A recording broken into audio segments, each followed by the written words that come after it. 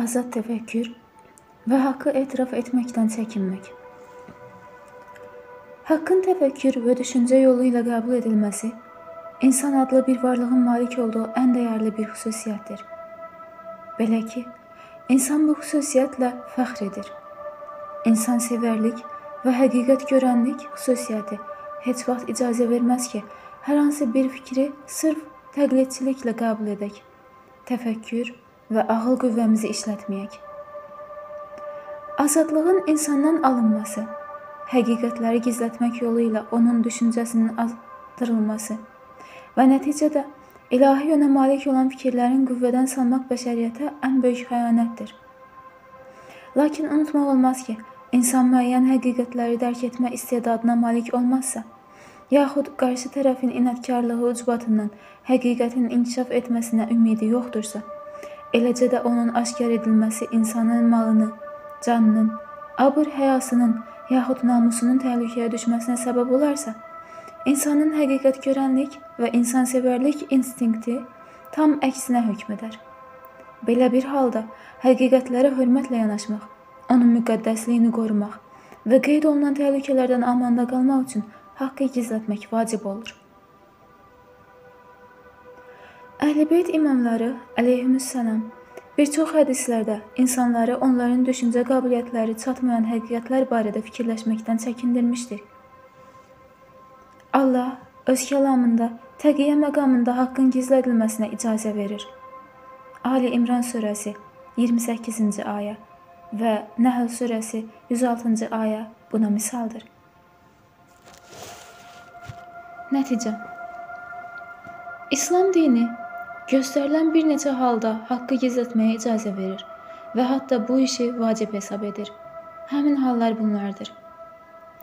Təqiyyə məqamında bu haqqın inkişafı üçün heç bir ümid olmadığı, onun aşkar olması ilə insanın malı, canı, abır həyası təhlükəyə düşdüyü zamandır.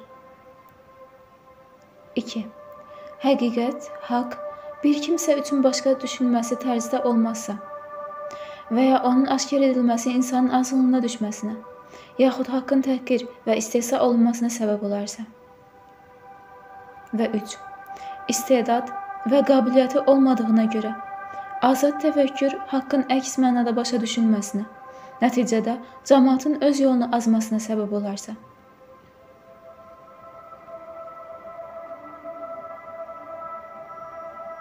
İctihad və təqlid İnsanın həyatda ehtiyac duyduğu məsələlər və onların aradan qaldırılması üçün göstərdiyi fəaliyyətlər o qədər çoxdur ki, adi bir insan nəinki onların hamısının barədə mütəxəssis olub, kifayət qədər məlumat əldə edə bilmir.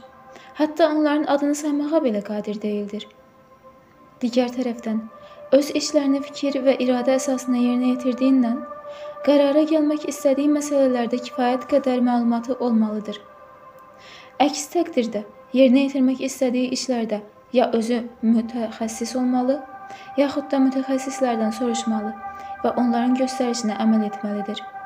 Belə ki, biz normal halda xəstəni müalicə etmək üçün həkimə, layihə işlərində mühəndisə, tikinti işlərində bənnaya, qapı pəncərə düzəltdirmək üçün isə dülgərə müraciət edirik. Deməli, biz bəzi hallar istisna olmaqla öz həyatımızı təqlid əsasına keçiririk. Bir kəs mən həyatımda heç vaxt təqlid etmərəm deyə iddia edərsə, bu halda o ya danışdığı sözün mənasını başa düşmür, ya da beynində və təfəkküründə müəyyən çatışmazlıq əmələ gəlmişdir. Öz şəriət qanunlarını insani fitrət əsasında quran İslam dini də məhz həmin üsluba əsaslanır. İslam öz ardıcıllarına dini maarif və hökmləri öyrənmək əmrini vermişdir. Bu təlimlərin mənbəyi də Allahın kitabı Peyğəmbəri Əkrəmin sallallahu əleyhi və alihi və səlləmin və imamların sünnəsindən başqa bir şey deyildir.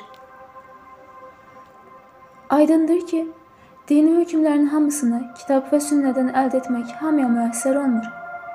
Ona görə də hökmləri istidlal yolu ilə əldə etməyə qadir olmayanlar dini göstərişləri dəlil əsasında əldə edən şəxslərə müraciət edərək öz vəzifələrini yerinə yetirməlidirlər. Dini hökmləri istidlal yolu ilə əldə edənlərə müctəhid, onların əməlinə ictihad, müctəhidə müraciət edən şəxsə müqəllid, onun müraciət etmə işinə isə təqlid deyilir. Yadda saxlamaq lazımdır ki, təqlid yalnız ibadət, müamilə və bu kimi dinin əməli göstərişlərində ola bilər. Amma əqidəvi məsələləri əhatə edən üsul dində heç vaxt bir kəsin nəzərinə etimad etmək və təqlidlə kifayətlənmək olmaz. Çünki üsul din barəsində insandan əməl deyil, iman və əqidə tələb edilir. İnsan başqalarının imanını öz imanı kimi qəbul edə bilməz. Heç vaxt ata-babalarımız Allahın bir olduğunu dediyi üçün biz də onun bir olduğunu deyirik. Yaxud ölümdən sonrakı həyatın haqq olduğuna bütün müsəlmanlar etiqad bəslədiyinə görə biz də etiqad bəsləyirik. Deyilməsi mümkün və düzgün əqidə forması deyildir. Buna görə də hər bir müsəlmana vacibdir ki, öz dini etiqadlarını sadə formada olsa belə dəlil yolu ilə əldə etsin.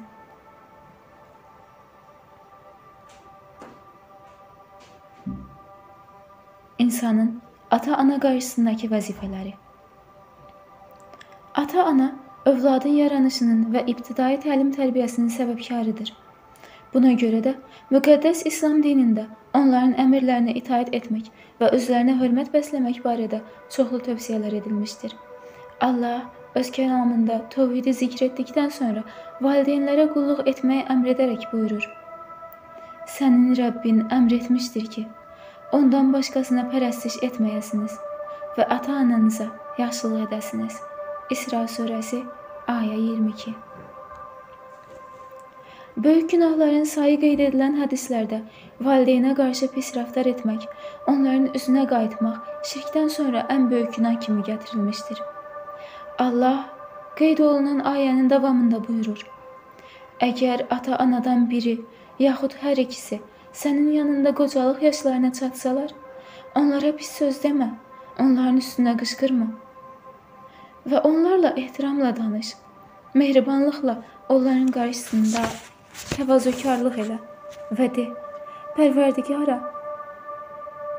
onların hər ikisinə rəhm et. Necə ki, onlar kiçik yaşlarımda məni tərbiyə etmişlər. İsra surəsi ayə 23